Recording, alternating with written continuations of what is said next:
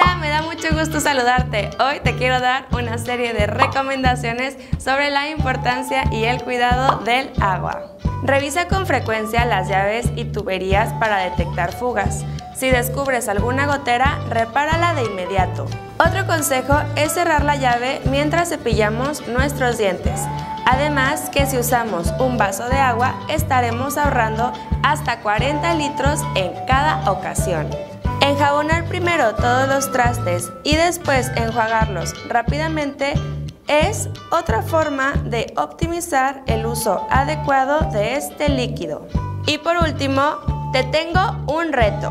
Cuando te bañes, pon una canción. Esto te servirá como guía y deberás terminar antes de que finalice esta canción. De esta manera ahorraremos muchísima agua y nuestros tiempos también se optimizarán. Mi nombre es Valeria y te invito a que compartas el video y nos sigas en redes sociales.